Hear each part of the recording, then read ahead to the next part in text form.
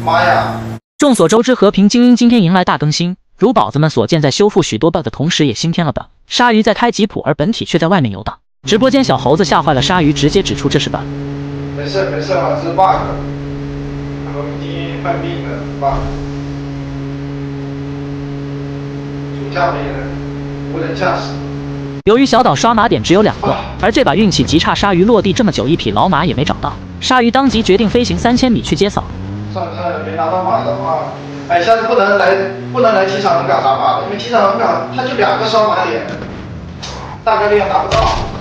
鲨鱼直接劳大机起飞，提前预标刷码点，跨越三千米的爱情之旅起航。终于经过两分半，劳大机顺利到达目的地，也即将坠机。不远万里找嫂子啊！这可能这就是爱情的力量啊！顺利迎接嫂子，鲨鱼也发现一个重大变化：老马斜撞后退加速的 bug 被修复了。哎，不是哦，我知道了，骑马的 bug 修复了，不是不是那个那个那个撞马马道费的 bug 绝对修复了，他要把那个逻辑给更改。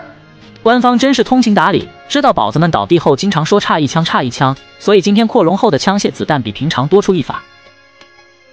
对此，我们的沙师傅是这样说的：“宝子们别急，先吃一个鸡。多一个子弹，妈充会员了，现在你不知道吗？和平精英你开通星月会员的都给你多一个子弹啊！不知道屏幕前的宝子们信了没有？反正小编我是不信，只希望明天的战神杯别因新版本层出不穷的 bug 出意外就好。对了，兄弟们，说到战神杯，战神杯 S 二将于明天六号到十号开赛。本届战神杯不仅有传统的四排积分赛，而且还推出了双排抢分赛和特别有趣的超凡小队玩法。”这是超凡小队介绍，欢迎宝子们来某牙观看二零二四和平精英战神杯 F 二。和平精英是一个三 D 游戏，更是具有蝴蝶效应。注意鲨鱼此时偷袭的这个敌人，决赛圈他将会拯救鲨鱼于水火之中。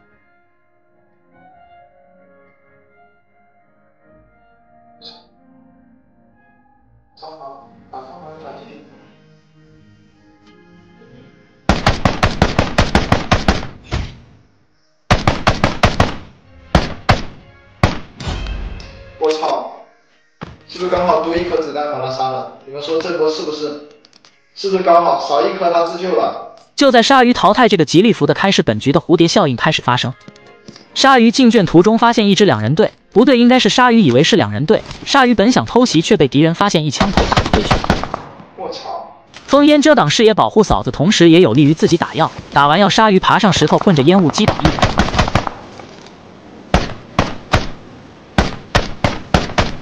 另一人也是大残，差一枪。鲨鱼以为是两人队，直接莽，却不料老马这时给鲨鱼拉了坨大的。不过鲨鱼却不知这是嫂子最后一次陪伴鲨鱼，并且也是最后一次保护鲨鱼。敌人队是满边看见队友倒一个原点，两人也骑马过来支援，所以鲨鱼掉到水里也是一个明智的选择。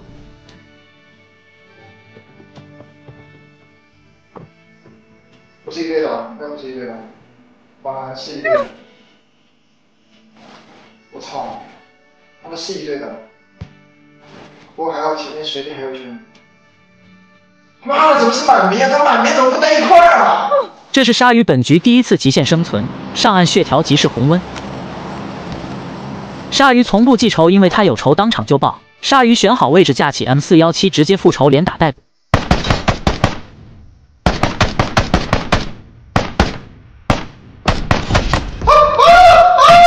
极品双字 ID 也经不住鲨鱼这个老六。鲨鱼的老马已经失去。圈又离得远，还记得刚刚的吉利服吗？他的盒子拯救鲨鱼于水火之中。盒子我打盒子了。安全区即将刷新，距离圈内较远，所以这个圈即是跳秒圈。没有载具，若再没有足够的药，鲨鱼直接陨落。好在吉利服的盒子好好的补给鲨鱼。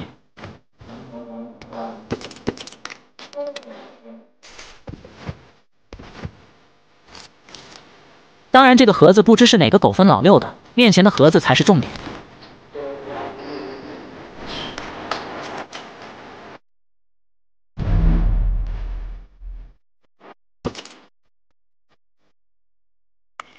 啊，真香！哎。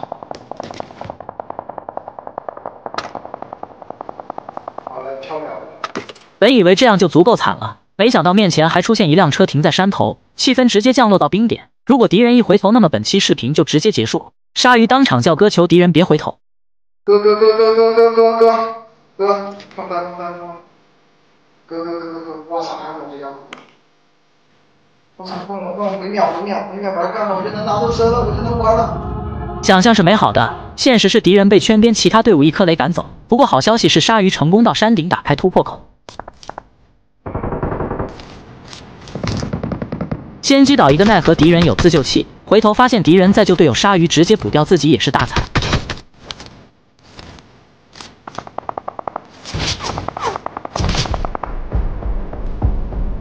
来到树后打药回复状态，好消息是鲨鱼抓住机会报仇，直接秒掉螳螂。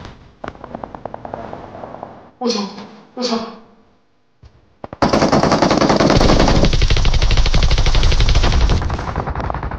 坏消息是又一队敌人莽到脸，又一个好消息是没发现鲨鱼，鲨鱼坐收渔翁之利。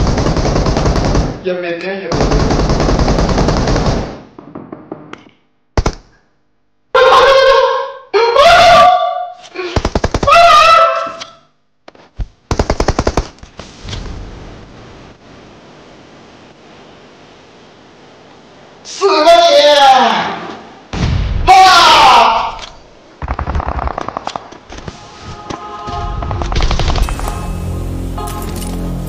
只可惜本局如此精彩，最后却没能吃鸡，鲨鱼被两人集火带走。我两个，太好了！